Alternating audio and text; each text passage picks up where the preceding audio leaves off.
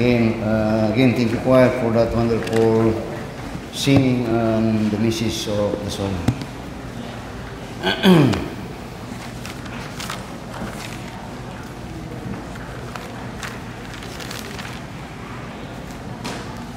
Kaya mayong hapon sa tanan, open your Bibles again with me in the book of Matthew.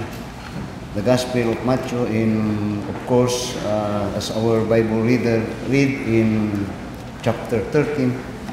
And this, uh, and the message titled, uh, very simple, the sower and the sower and the soil. the sower and the soil. Now, uh, ang uh, we have a message not too long ago about uh, the Word of God as a mirror. A mirror that will tell us, mus, mus, musulti sa to ang sa Ginoo kung ug mo pagkita ka ang Ginoo og kinsa kita. And in these passages and in these uh, messages, message, you will find indeed now what we what you become as you are hearing the word of God will be revealed here o nga it will be no excuse na whatsoever happen as you hear the word of God you will not uh, you will be of course accountable o you are not blinded kung unsay nahitabo sa imuha as a result of your hearing the word of God. So in this uh, particular passage you will find that here uh, in this parable the Lord Jesus Christ had helped his disciples to not only to be awakened, but to be to be to be aware and prepared as they are to sow the word in the world. Not only that, but here also you will find that in many occasions, when the Lord Jesus Christ uh, made miracle, perform miracles in His time, many people nagasunod-sunod sa iyo ha. Nagasunod-sunod siya, but because the Lord Jesus Christ knows the heart of those people yung that he yung niya dili niya ginakumit iyang kaugalingon nini mga tawhan because for reasons that they only follow because of the excitement of the miracles that the Lord Jesus Christ performed and likewise the benefit that they had uh, benefited katong mga feeding nga ginahimo sa Ginoo. Pero of all those dili to actually naka-build of faith sa ila where in fact you will find in John chapter 6 John chapter 6 that after they had they were feed 5,000 were feed with those bread two uh, five loaves and two fishes. Then later on they saw the Lord Jesus Christ walking on water. But when God subjected them about in the service of God many left the Lord Jesus Christ. Namiya sila. So in this parable, you will find that the the sower is some says it is the Lord Jesus Christ, some says it is God's people, while the the the, the soil here represent the heart of man, the heart of man. So notice ang ang ang uh, chapter 13, notice in the occasion in verse 1 to verse 2 with regards to this parable. Ngunya, the same day went Jesus out of the house and sat by the seaside. Then a great multitude were gathered together unto him, so that he went into a ship and sat, and the whole multitude stood on the shore, and spake many things unto them in parables. So there are many parables, actually seven parables ang sa chapter 13. So that when the Lord Jesus Christ speak parables, you will find in verse 11, and, and verse 10 and verse 11, that his disciples asked him why he uh, taught them on uh, about uh, on the basis of using parables. So in verse 10 niya, and the disciple came and said unto him, Why speakest thou unto them in parables? Then, ngunya, verse 11, niya, he answered and said unto them, Because it is given unto you to know the mysteries of the kingdom of heaven, but to them it is not given. So, when he, the disciple asked, Why parables? Then God said, Because it is for you. to understand the message. And, but, ngunya, pero dili para sa ilaha. And he's referring about these Pharisees, religious people, whose intention is just uh, listening, but not, not, uh, but they have no desire to, to make use of the teaching or to apply the teaching from the Word of God. yung mga, yung mga. So, ingon niya karon sa verse 12 na, For whosoever hath, to him shall be given. So, tanaw ang tulo sa Ginoong si Kristo niya, For whosoever hath, to him shall be given, and he shall have more abundance. But whosoever hath not, from him shall be taken away even that he hath. Ang niya, the- this parable is for the benefit of God's people, but for these people, niya dili. Kay ngun niya karon kadtong naa, nanay kahibulo, punan pagid na sa Ginoo ay mo ah. Kadtong kini mo tawhanan ni nagamay kwaon kugud pa kut-kuton ko na sila kut spiritual. So, just follow.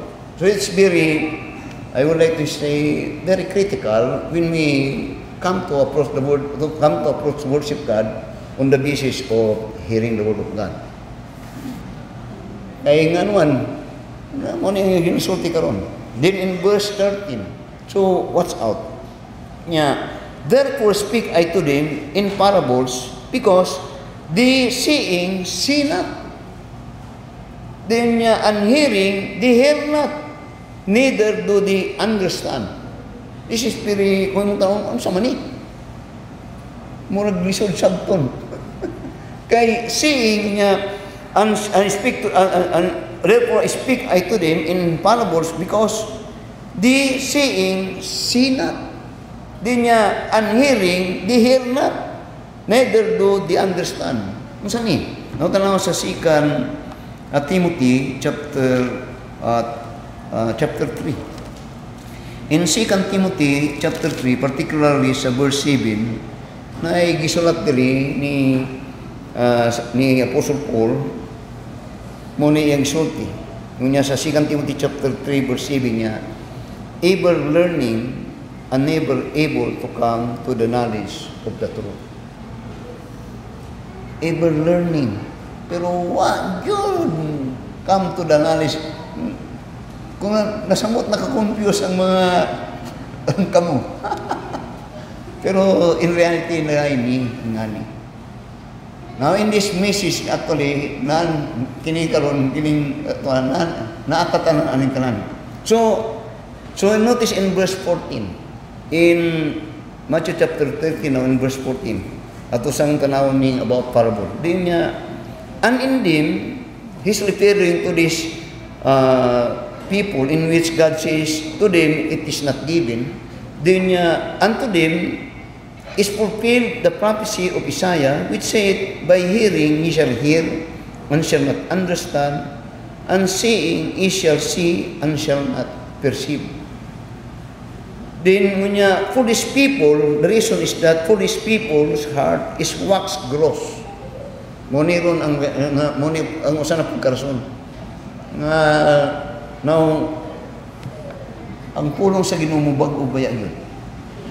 Pero kung magdumila ka nga mo, dawa sa puno si Ginoo, wax gross. Muna si Pero. Si Pero sa sunod sa sunod anan di gyud mo sa Ginoo. Bisag nakakita na siya sa milagro sa Ginoo, lupig tanan ang iyang mga mga magic na mo.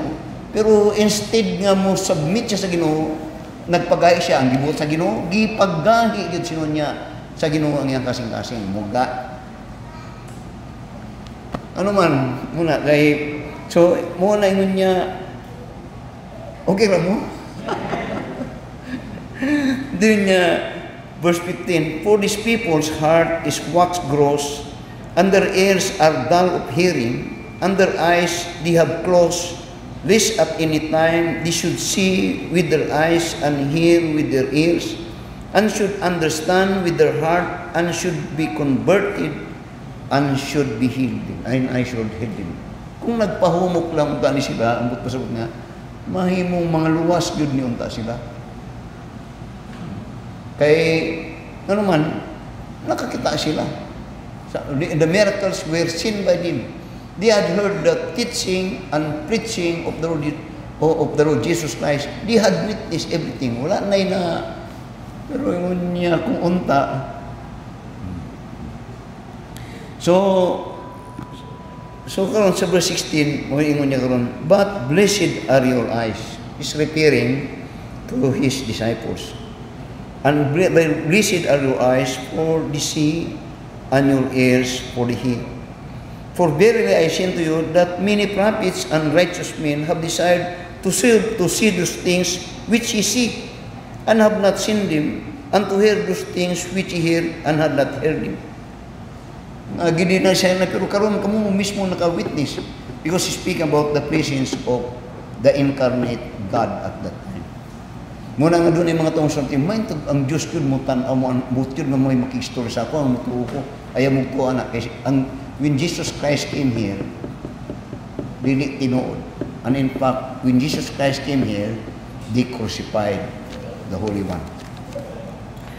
So, this is the first parable that the Lord Jesus Christ gave unto them. It's about the parable of the sower and the soil.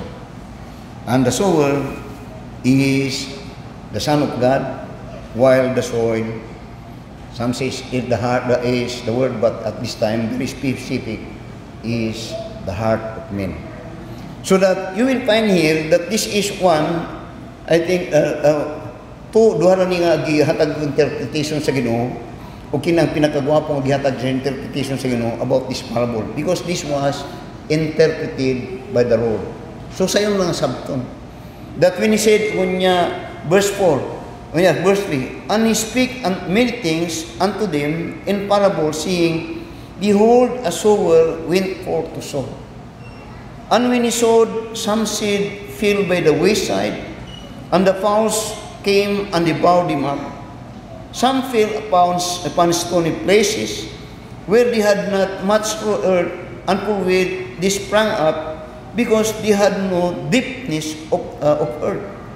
Di niya, and when the sun was up, they were scorched, and because they had no root, they withered away. And some fell among thorns, and the thorns sprang up and choked them. But other fell in good ground and brought forth fruit, some an hundredfold, some sixtyfold, some thirtyfold. Di niya, who hath ear to hear, let him hear. Now, now this passage is, for me, is a comfort for, for me. And for those that are endeavoring in labor to show the Word of God. Mga katong mga naga, nagapaningkamot nga mo share sa pulong sa Ginoo sa uban. It is a comfort. Because it give us understanding not that that that not all hearer will be converted. Not all. But the truth is, they all had heard. Ba, pero kita sa mo na kanang tumbago pa kong Kristohanon, forceful kayo. Pero dili di ay. Then karon karon po nakahatag po ni comfort sa ko as pastor kay hasta pud mo may balo mo. Kung asa mo ani because this in this parable God is sowing into four types of soil which represent the heart of men. Ang iyang kung nga soil represents the heart of men that where the word of God is being sown. Muna nga may buwan ni mo. Ako hugod kong kuan, so yung ako, ah, basig na ni siya nga type na soil to, muning na ito siya. Now, this kind of soil here actually is upat ni siya nga type. Ah, so lang ito lang. First is, there is what we call the hard soil or hard heart. Diyon, shallow heart. Din doon na po crowded heart. Ug doon na po fruitful heart. So, kung usay, kung magahitabo ni, mga ko, hard heart to. Mo to ingato siya. O, mo, usay po po na, ah, kanto, shallow to nga suwe o heart mo to ning ato siya. Or makaw nang anong katupod siya, ah, kwanto siya, crowded heart mo to ning ato siya. Or kadtong sa fruitful heart, very good to siya. So that as we go on with this, ma, ma, na, ma, you will be, maybe you will be warned, or katong nagaso, di lang diri, ug sa, hindi sa asam lapita, na ingato di ay moto siya. Kung mo, so, the Lord Jesus Christ here, He's speaking about these four types of soil. Now, in verse 19, dire gi-interpret niya kini nga parable. Tango sa verse 19. In verse 19, here you will find where God described the type or the kind of soil which is considered a hard hard soil or hard heart. Gahit nga kasing-kasing. Now notice the, the description sa verse 19. When anyone heareth the word of the kingdom and understandeth it not, then cometh the wicked one and cuts it away that which is sown in his heart. This is he which this is he which receives seed by the wayside. The wayside simply means kanang kanadto kung mga trail ba kan mga kasabot na yung kanang abot niyang pasikal to wala pay karsada nga wayside kanang trail ang uh, agihan ng God na diin na kanang wayside daghang mo na nga gahi na siya kay sige tamak mo na agihan tamak-tamakan sa kabaw sa mga tao mo na nga tao nga wayside or hardened heart. Nga kini sila makita nimo sila nga mahardin o soldier o sa man ang riyon riyon sa man ang biblia biblia? Di pa kakasulti. Ag burot-burot na ilang mga baba these people are hardened. And the reason why they are hardened oftentimes is that they entertain many times mga nagkalain-lain nga himo nilang katawanan ang mga pulong sa Ginoo. Ina mga bugal-bugal ang pulong sa Ginoo naibusulti naibusulti ani nga lain nga kuha sikta lain nahimong bugal-bugal muna ambot pa sabot ang iyang huna-huna gitugtan niya nga daghan kay dula-dula siya ang huna-huna and they speak about mga religious things hmm. Muna siya yung kita ng mga tao, mga harden. Dili na sila ignorant, ignorantin. Ano kay balok baya sa puno sa Ginoo? Pero i-subject ni mo dedication, subject ni mo sa faithfulness in the Lord. Wala. And these people, because they have a hard heart, this hard heart is trodden. And being trodden simply means na napuno ang iyang una-una og mga butang ng mga mga matawag nga mga mga yaga-yaga. Muna nga in 2 Timothy and 1 Timothy muning panambagon ni Apostol Pablo with this with this regard of this hardened heart. Ngayon niya sa 2 Timothy chapter 2. 2 Timothy. Yan, sa 2 Timothy chapter 2 we'll find in verse uh, 15, and particular sa verse 16 niya, But shun profane and vain, vain, babblings, for they will increase unto more ungodliness. Di kayo na, gani, gani, in sikan, in sikan dyan, muni tudlo ni, ni Apostol dyan in regards with this. Mo to si, no tayo membro diri nga si, si Ayan, na nag-Bible-Bible study sila mga Nagasumbong sila sa kuha.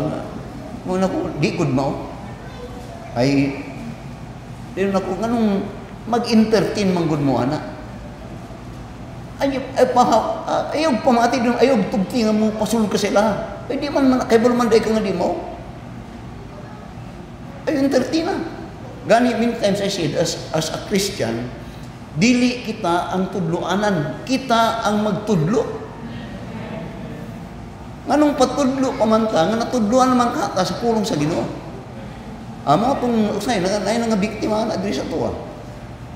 Why? Because they entertain other things. Nakahibulo na sila unsay foundation. Punta ni ni ni Apostol Pablo about Timothy. Ingon niya, that thou would not allow any other doctrine na mutudlo si mo. So, ingon niya karon sa second John, mo po ningon ni John, sa second John, verse 10 to verse 11. Nya, if there come unto you and bring not this doctrine, nya receive him not into your house, neither bid him Godspeed. Ano man tungod kay it will bring confusion sa imo ha. Labi nag di uh, di, labi nag kung kanang amigo nimo o di na kay daghan ra ba yan nga basig ma-offend siya di puso mo di ka mo post di ka mo balibad di ka mo sulting mali man na di sila kag uh, ah mauba mauba mauba Nay mo ingana mo na nga nagahardin ang ilang heart Not only that, but it will harden kung mo na kung mawalihan mo kuan is the devil is not at it. Mo na niya sa second uh, second John chapter verse 10 niya, if there be if there uh, if there come any unto you and bring not this doctrine, niya, receive him not into your house, neither bid him Godspeed. Why? For he that biddeth him Godspeed is particle of his evil deeds. So ang mayo, i-grounded nimo ang imong kahibalo og pulong sa Ginoo sa imo mo magtuon mamati magtuon jud kay nguni ingon ni Jude nguni ingon ni Jude sa verse ang ni mga Kristiyano na ingon ni Jude Jude verse 3 mo na ingon niya niya beloved when I came at beloved when I uh, when I when I give diligence to write unto you of the common salvation it was needful for me to write unto you and to exhort you that ye should earnestly contend for the faith which was once delivered into the saints.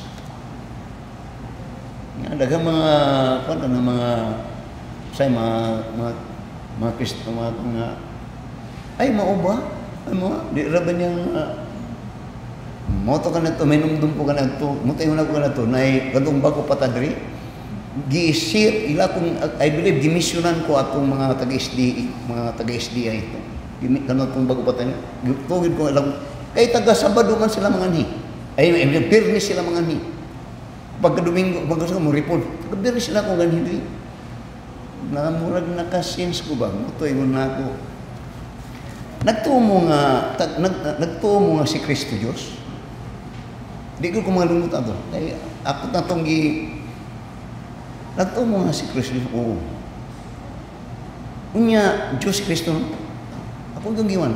Unya, nagtumo ang mamatay ang Diyos. Nag, dili. Namatay ba si Kristo? Unya, Diyos siya. Natulilig, oy.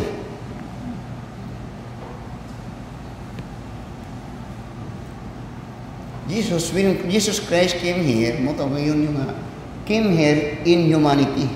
And, in, and, in, and His intention is to die for our sin. Diyos siya, pero nagpakatao. Ang primary nga katuyuan, that in His humanity, He will die for our sin. So, hard heart. So this hard heart, kung niya sa verse 13, is that it is being trodden so that ang trodden ni so that let us be very careful on it. Not only that, because it is already hard heart, niya, when any one hear it, the, the, the, uh, the word of the kingdom and understand it, it not, then cometh the wicked one and catch it away. Di, gahi lang, kung yung makita ang picture gani, gani, magtanong ka, kung gahi, maglutaw na sila. Ano siya. so, there are those people that, that are like that, like this. Sometimes, very, kay kita usahay ka lang natay desire gud sa tao. Kita nga mga Kristiyano nga kasabot ka luwasan. At kita gud how we wish nga maluwas tanan atong tao nga mamit. Kaistorya na gud na. Pero money.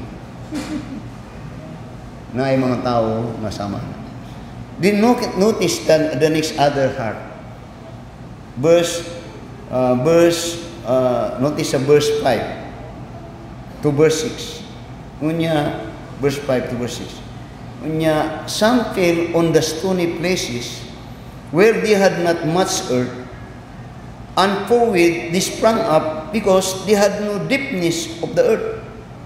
And when the sun was up, they were scorched, and because they had no root, they withered away. This is what we call shallow soil or shallow heart. Ngangbot pasabot na mga mga mga mga yuta nga mabaw gani nasa mga batuon. Nga na, na real ni. Nga kung musay musay kung nay mo mutubo pero dili mo lahutay.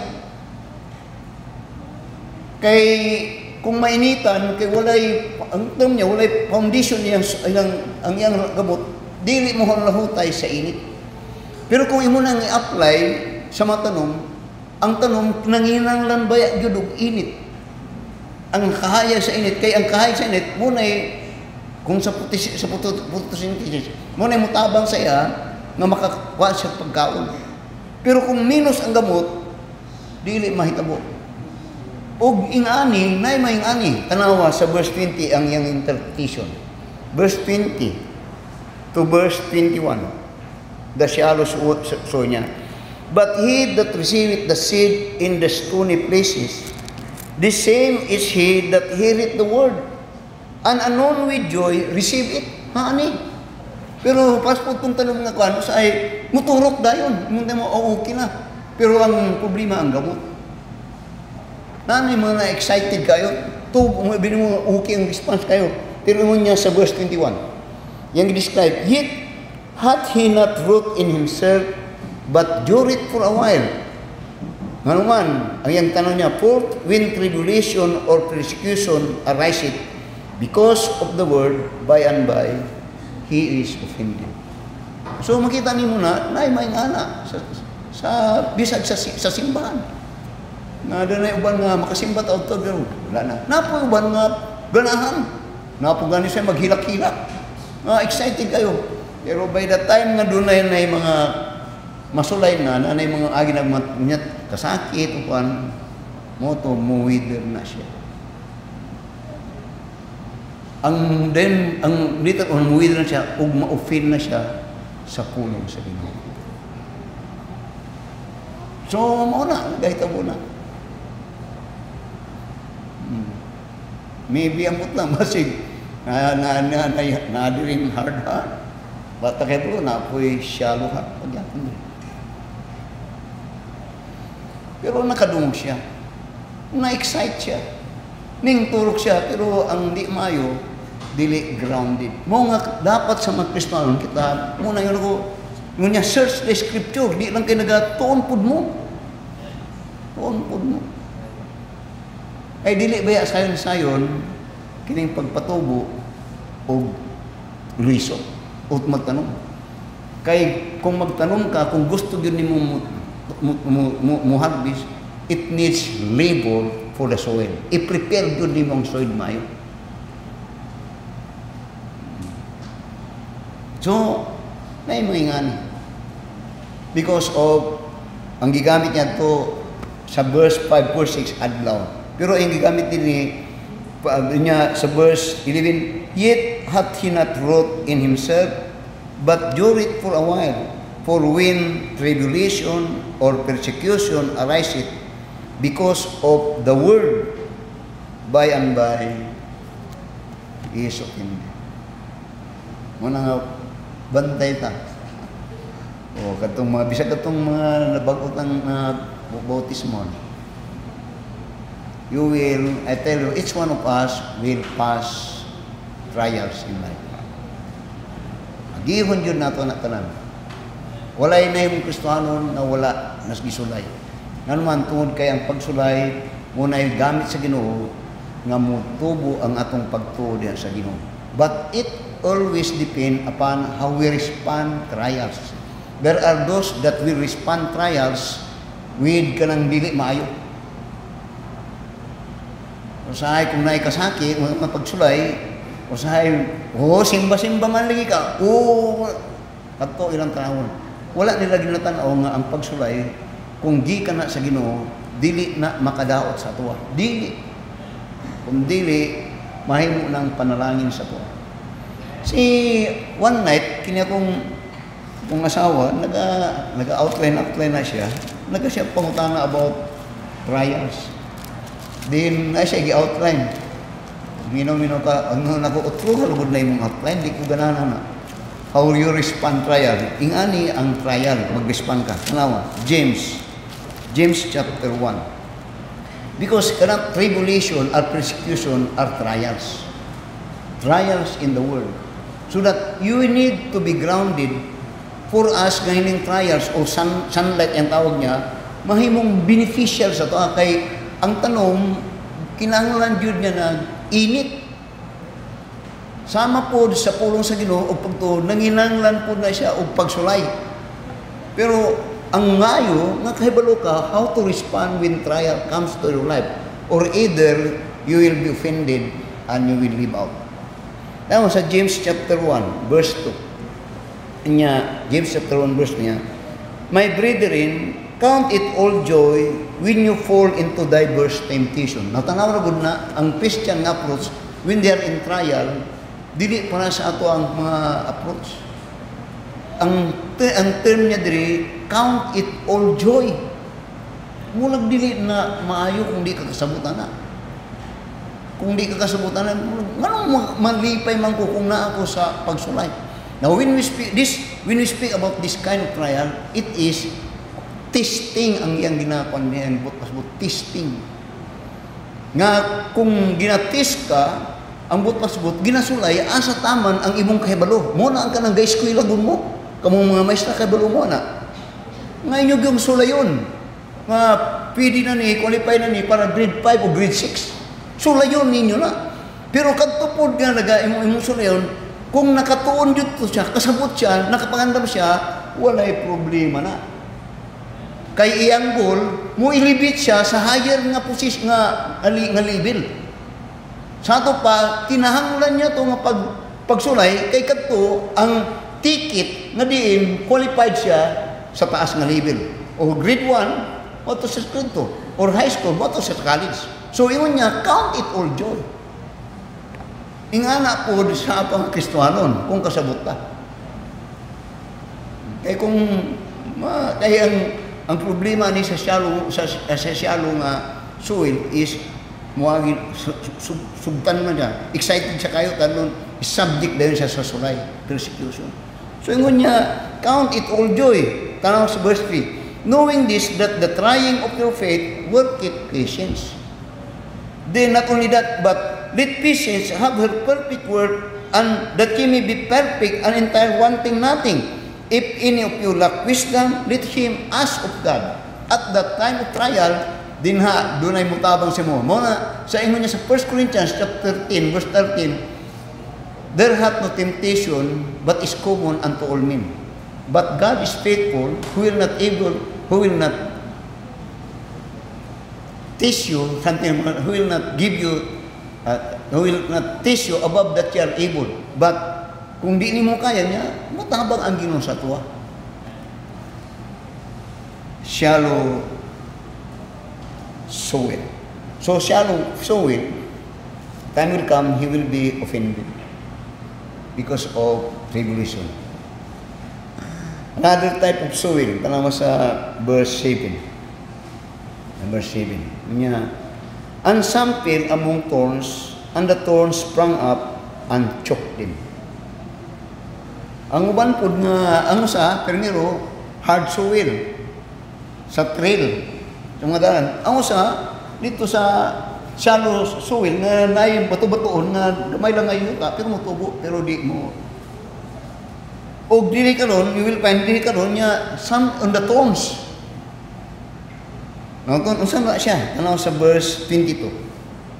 Matthew chapter 13 verse 22. Ang iyang at ang iyang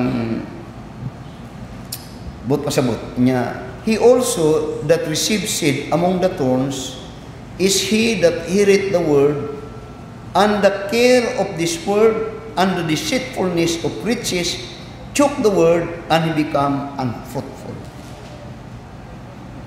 Ay anak po na. Ang kanilang mga economic crisis. Or mga ambisyon sa kinabuhi. Nga mo'y mutyok sa pulong sa Ginoo. And so that it would be a reason na he will not be productive. Muna sa 2 Timothy, tama sa 2 Timothy. Now as I am, we are having this message, I don't know, baka na, ang uban na nasa, ang uban hard sewing, man na, ang uban maybe na pasasyado, ang uban basig na apod-dapot na din sa tong, I don't know. Tanawa sa 2 Timothy chapter 4 verse 10. 2 Timothy chapter 4 verse 10. For Demas had forsaken me, having loved this present world. Now si Demas, uban-uban na ni Apostol Pablo. Pero Demas was likened into a crowded heart. Nga kama time that because of ano eh, mga say mo tanaw mas maayo pa man na sila nga wala nagkuan og Dios o. Kaysa kita nga nagkuan ano nga man mga something like that. Or sometimes we envy itong mga oh, walay mga Diyos.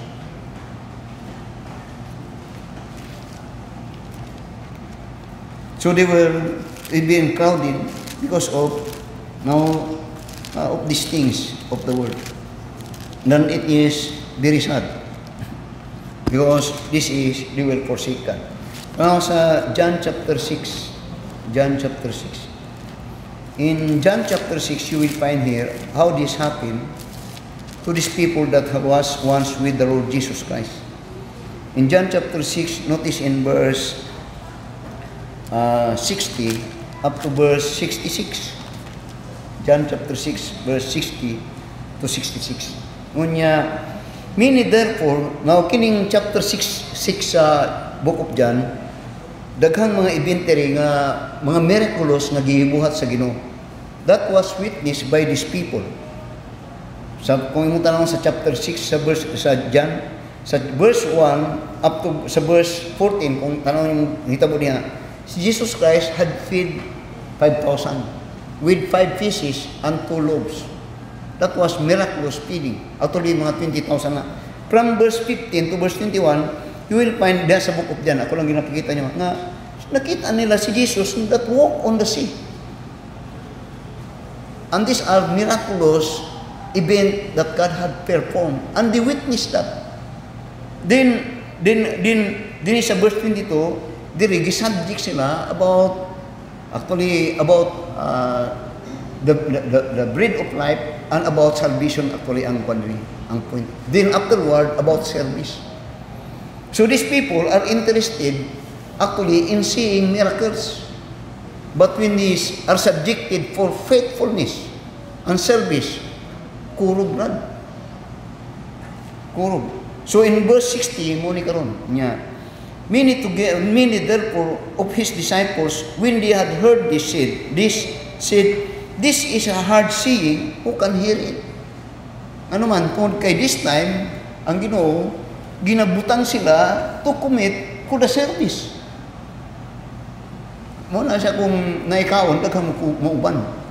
Pero kung naitrabaho, way ganahan ka mo na ba, ngut niya ko sa buhay. So, yung lisod ni, kay nga naman, karon kay, kuha naman, commitment for service of God. So, ingon niya sa verse 61, When Jesus knew in himself that this disciple murmured at it, he said unto them, that this offend you. Then niya, what and what and if ye shall see the Son of Man ascend up where he was before, it is the Spirit that quickeneth and the flesh profiteth nothing. The words that I speak unto you, they are spirit and their life. But there are some of you that believe not. Nang butpahod, kay bulo ang ginoo. Dag na sa iban sa inyo, ha? gari daghan sila. So, yun niya karon. Now, by the way, again, I would like to say this. When we come to worship God, or when we come to approach God, dili kay nagabarter ta, nga ta sa Ginoo nga para natay kwaon, magfitful ka para natay kwaon sa Ginoo. When you are saved, you are already a child of God. God intends to bless you. But the only one is that when we serve God, we come to Lord. It is because we want to obey and to be faithful sa iya. Kanang mag-worship ta is obedience and faithfulness na. Pero out of that, God will reciprocate. Kay makita man niya ang imong, among intention. To the point that God knows that you came here to honor Him. Dili tong inyong mentality nga dili na mao. Dili na.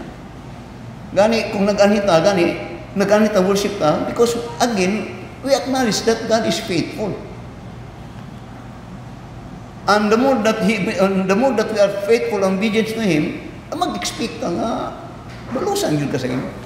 Dili kay murag imong subornahan ang Ginoo dili hawa na sa iyo that is evil. Di na mo. Mali gyud ta na.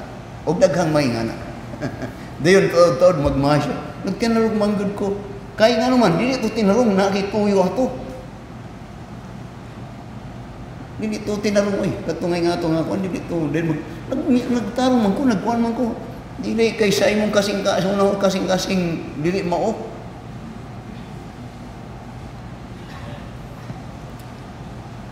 So, yun niya sa verse 64. Yun niya sa verse 64. But there are some of you that believe not. For Jesus know from the heart, uh, from the beginning, who they were that believe not, and who should betray him. And he said, Therefore said I unto you, that no man can come unto me, except it were given unto the, him of my Father. Then verse 66, From that time many of disciples went back and walked no more with him. Back out, oy. Pero kung imo nang pero kung atong imo nang kanon pa yun, so ako lang gusto nga bawion ako ano. So daghang nabiya siya. So sa verse 67 para dili ta ma, ma, mabitin ba. Then said Jesus unto the twelve, dosi na lang out of 20,000 20,000 nga tao. Will ye also go away? Then Simon Peter answered him, Lord, to whom shall we go? Thou hast the words of eternal life. And we believe and are sure that thou art the Christ, the Son of the living God. Nyamang kamo. Biya, biya po mo sa kuha. Uni Peter, di, oy, kay balumi. Kay asa mi kumuhawa minimo, asa mi padulong. Na Jesus answered, have, have not I chosen you twelve? And one of you is a devil. And that is Judas. Judas came to the Lord for business. Na ikatong mo mo palit sila og kwan kung gi atong uh, si katong si Mary nga nag kwan og katong alabaster nga oil una kung gibaligya pa lang na kwan nagkanto pero ingon nga dili ba ito nga. So ingon niya kung he speak of Judas Iscariot the son. So there are those that are ngun di ang ang kwan niya is crowded heart.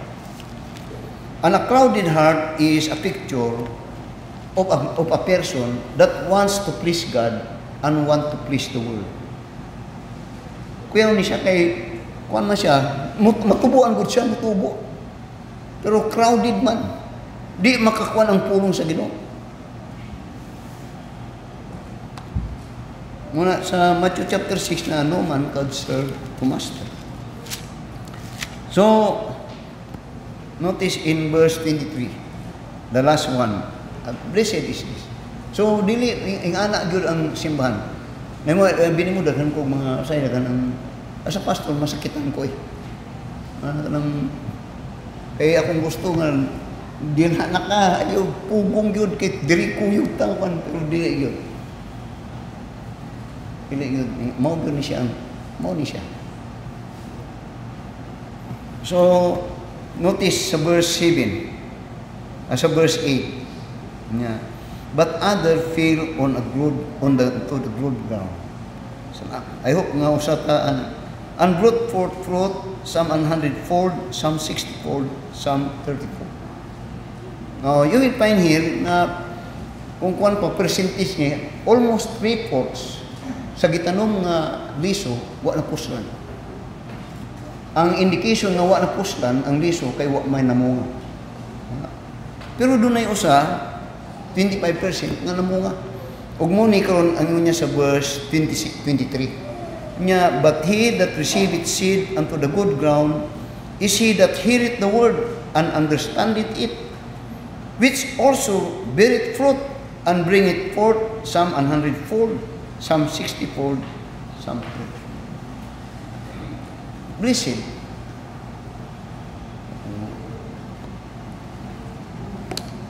Now, let me see something about this tree soil that is unproductive. Kining duha ka klase nga kasing-kasing which represent soil unproductive. Katong hard, katong shallow, o katong crowded. Now, you will find that this hard heart, it was hardened and the word of God had not grown because Satan himself take the word.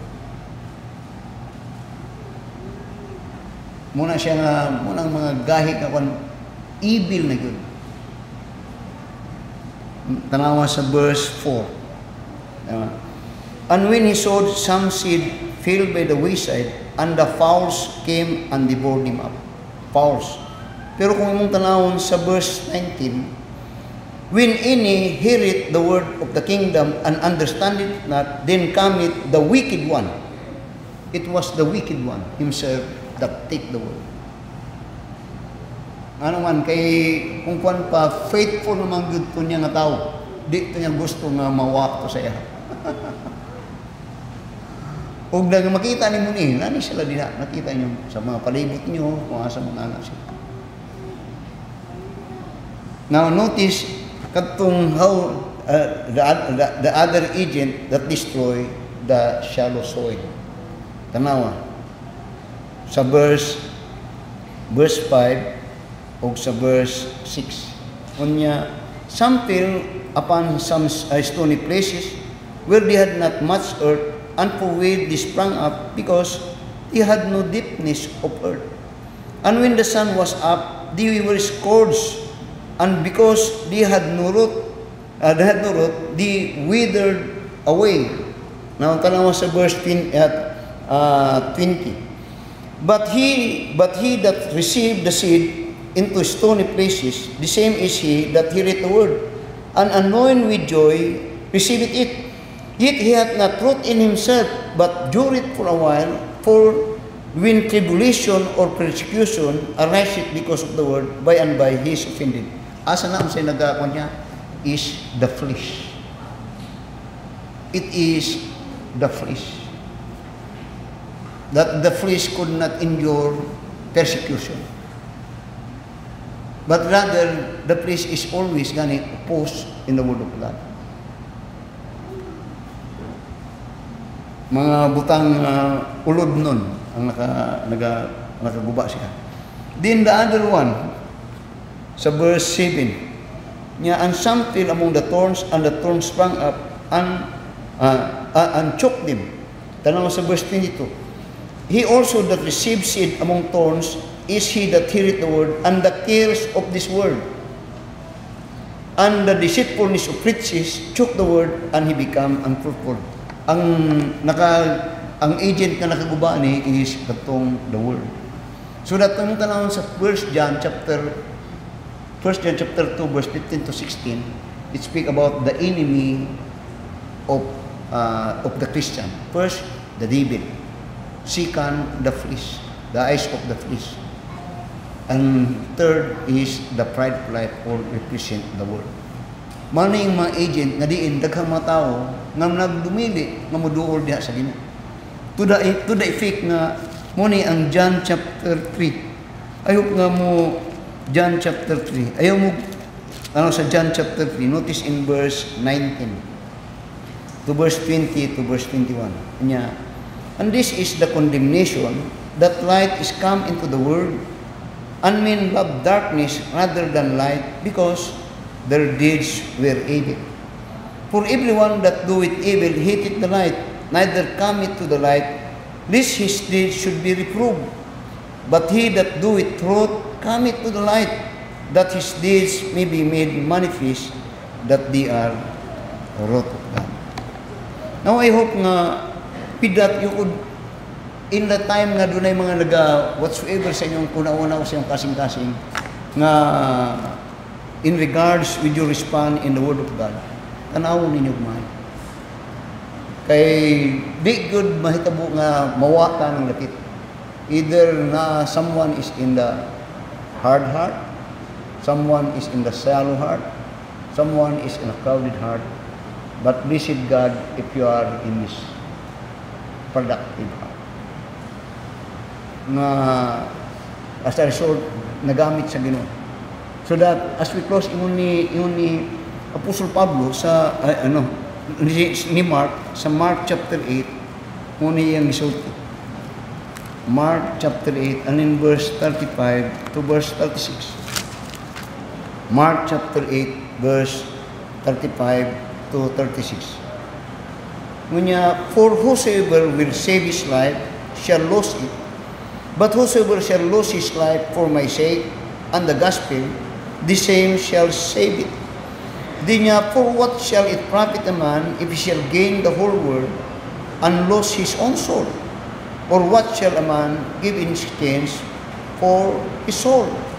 Wherefore, therefore, shall uh, where, whosoever therefore shall be ashamed of me and my words in this adulterous and sinful generation, of him also shall the Son of Man be ashamed when he cometh in the glory of his Father with the holy angels. Let us stand up and let us pray.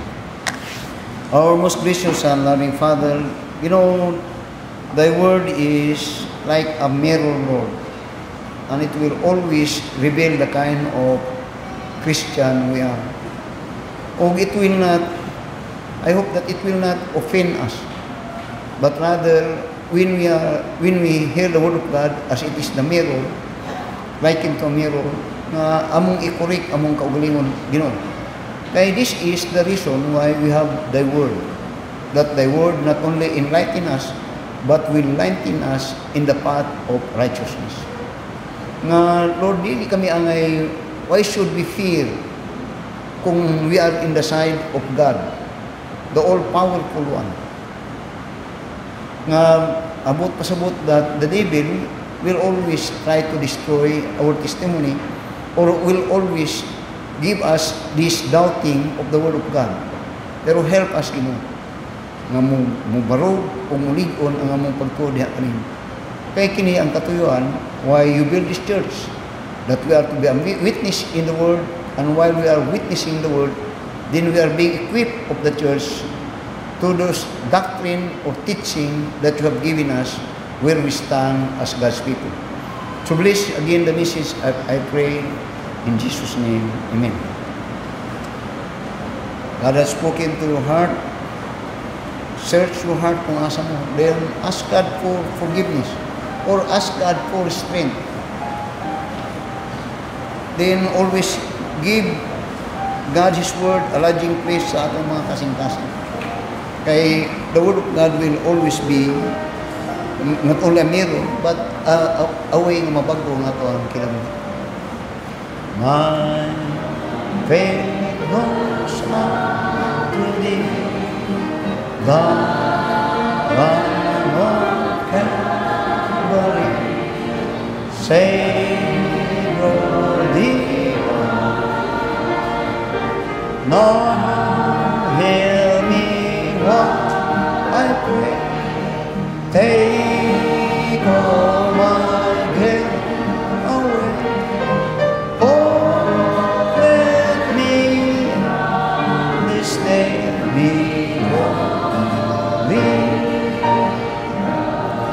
check your heart. Ano ba? If you are nalagani punto nga you are, as if you are giving, murag mo give up na ba?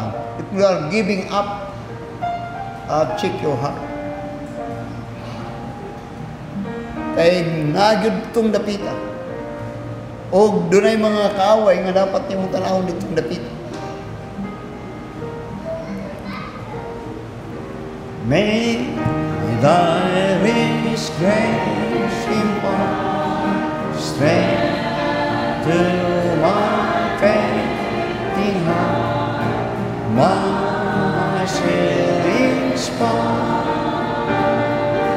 As thou hast for me, oh, may my love to thee, oh, change. Speak,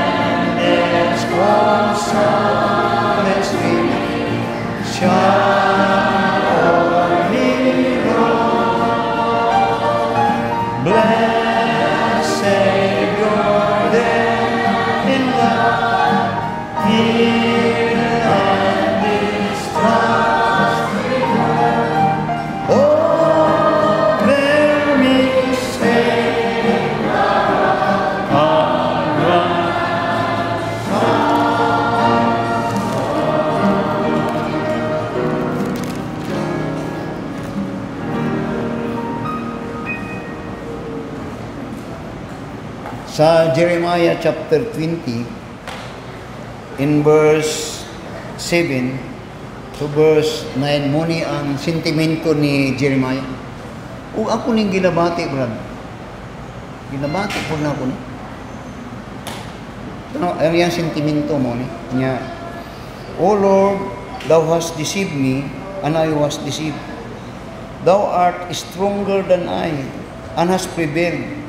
Di niya, I am in derision daily. Everyone mock at me. For since I speak, I cried out, I cried violence and spoil, because the word of the Lord was made a reproach unto me, and a derision daily. Di niya, din said I, I will not make mention of him, nor speak anymore in his name. Kay maka-offend man. Ah, Dayon niya, but his word was in my heart as a burning fire shut up in my bones, and I was weary with forbearing. Ug di yun ko mapugan, makasulti ko. Again, pray for me. Sa Amerika, ingon sa Amerika karon naghan na ang nagabiya og mga simbahan. Daghan na po mga pastor ang nagagibak. Daghan po mga pastor nga then they said many are going atheist.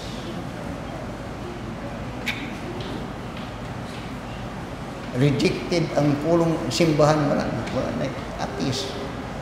They don't believe on God much more on church. Really mo niya itong but pero it's all by the grace of God. Kay pray for me, kay na yung mga panahon nga din ako mahadlok na ko, murag ginapugnan ko mamuwali na mga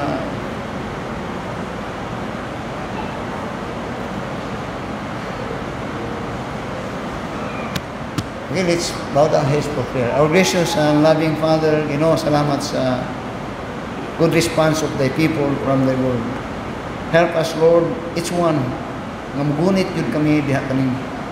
Because doon ay Diyos nga magbubuhat ug doon ay Diyos, Diyos nga gamahanan sa tanan in which we are all accountable of what we have done in this life. And above all, on how we have responded and make use of thy word.